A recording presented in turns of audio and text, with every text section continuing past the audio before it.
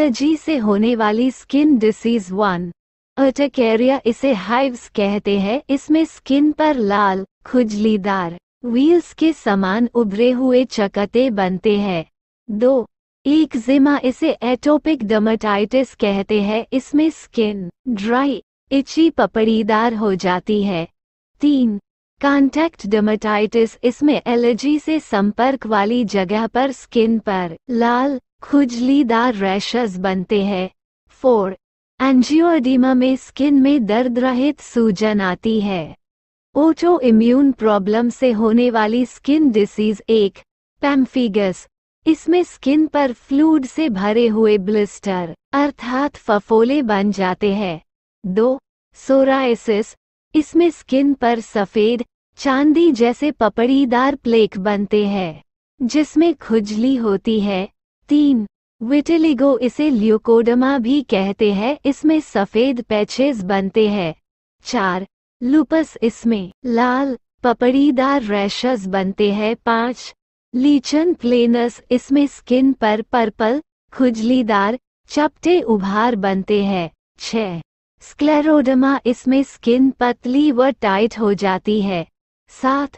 Alopecia areata इसमें बाल झड़ जाते हैं। वायरस से होने वाली स्किन डिसीज। एक हर्पीस सिम्प्लेक्स इसमें होठों पर व जन्नांगों पर दर्दयुक्त घाव या ब्लिस्टर बनते हैं। दो हर्पीस जोस्टर इसे शिंगल्स भी कहते हैं। इसमें स्किन पर एक स्ट्रिप के रूप में पेनफुल रैशेज बनते हैं। तीन वॉट यह एच वायरस से होती है। इसमें दर्द रहित मोटी स्किन में ग्रोथ हो जाती है। चार मोलुस्क कंटेजियोसम इसमें लाल, खुजलीदार, दर्द रहित छोटे उभार बनते हैं।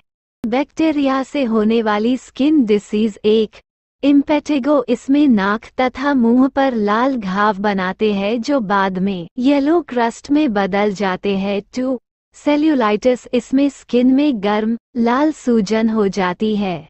पैरासाइट के इन्फेक्शन से होने वाली स्किन डिसीज एक स्कैबिसिया ईच माइट से होती है, इसमें स्किन पर छोटे छोटे लाल दाने निकलते हैं व तेज खुजली होती है। टू पेडिक्यूलोसिस ये लाइस अर्थात जुए पड़ना है।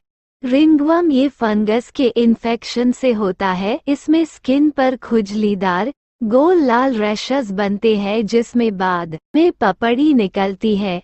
एक ने इसे एक ने वलगेरिस कहते हैं। ये एंड्रोजन हार्मोन की अधिकता से होता है। इसमें स्किन पर खास करके चेहरे पर, पीठ पर पस युक्त मुहासे बनते हैं।